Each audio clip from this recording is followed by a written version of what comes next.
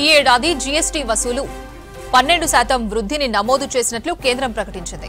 June రెండు వేల ఇరవై మూడు నాటికి లక్ష అరవై ఒక్క వేల నాలుగు వందల తొంభై ఏడు కోట్లు స్థూల రాబడి ఉందని తెలిపింది.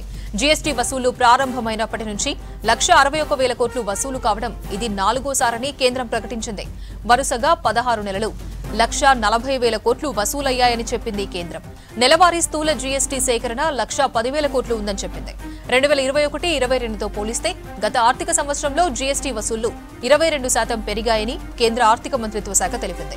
రెండు వేల ఇరవై రెండు ఇరవై మూడు ఆర్థిక సంవత్సరంలో పద్దెనిమిది పాయింట్ ఒకటి సున్నా లక్షల కోట్ల మేర జీఎస్టీ వసూళ్ళు జరిగాయని వెల్లడించింది.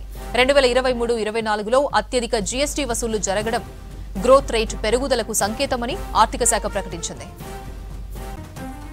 ఈ ఏడాది జీఎస్టీ వసూలు పన్నెండు శాతం వృద్ధిని నమోదు చేసినట్లు కేంద్రం ప్రకటించింది. జూన్ రెండు వేల ఇరవై మూడు నాటికి లక్ష అరవై ఒక్క వేల నాలుగు వందల తొంభై ఏడు కోట్లు స్థూల రాబడి ఉందని తెలిపింది. జీఎస్టీ వసూలు ప్రారంభమైనప్పటి నుంచి లక్ష అరవై ఒక్క వేల కోట్లు వసూలు కావడం ఇది నాలుగోసారని కేంద్రం ప్రకటించింది.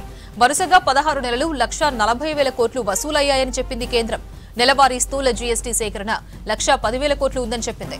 రెండు వేల ఇరవై ఒకటి ఇరవై రెండుతో పోలిస్తే గత ఆర్థిక సంవత్సరంలో జీఎస్టీ వసూళ్ళు ఇరవై రెండు శాతం పెరిగాయని కేంద్ర ఆర్థిక మంత్రిత్వ శాఖ తెలిపింది.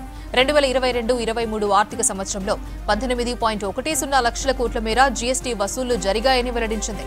రెండు వేల ఇరవై మూడు ఇరవై నాలుగులో అత్యధిక జీఎస్టీ వసూళ్ళు జరగడం గ్రోత్ రేట్ పెరుగుదలకు సంకేతమని ఆర్థిక శాఖ ప్రకటించింది.